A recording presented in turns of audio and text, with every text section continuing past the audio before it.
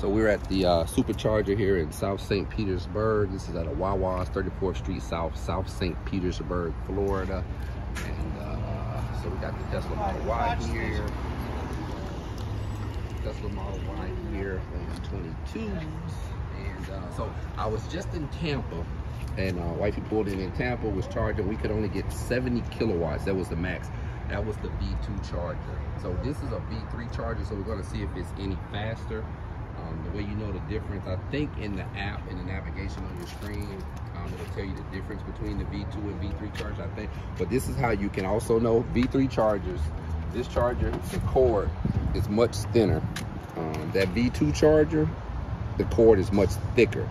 So again, we was just in Tampa, 70 kilowatts. That's not very fast. Like we were gonna be there for like two hours. So we're gonna plug this in and see if we're getting above 70 right now. I'm hoping we're still on 100%. If not, we'll turn up to 100%. But let's plug this in and see if we can get above 70. V3, South St. Petersburg, Florida, um, Tesla supercharger. Let's see what he does.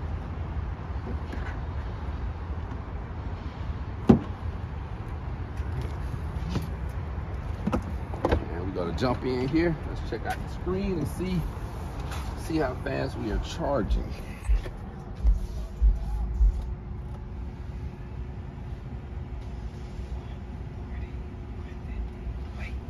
All right, so we're 140, 150, 160. Now I'm telling in Tampa, we just left Tampa at a V2. We were only getting 70.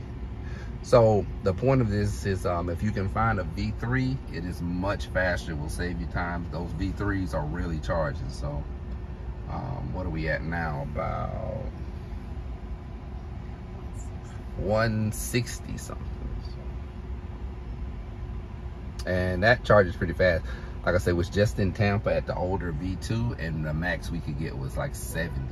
So this is more than twice as fast.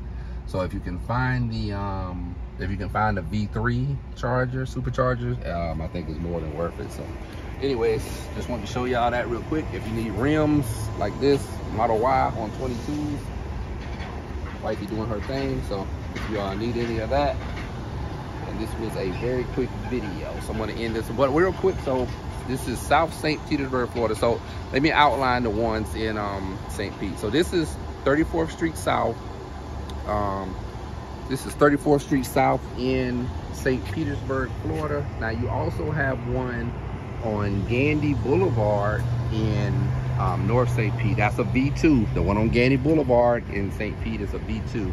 Now there is a V3 out by Countryside Mall way north on US 19. So that's the fast one again. So um, with this one here, and you also know with the V3s, you'll hear that air. When you get closer into this one, you'll hear the air like that fan running on that So again, especially when you're making those long range trips, that V3 is twice as fast at least. I've seen it get up over, and it, it's the max, I think it maxed out at 250. So anyway, just wanted to show y'all that. It's Friday, I'm about to get on my drink, so I will have to holler at y'all on the next one. Please share, like, and subscribe.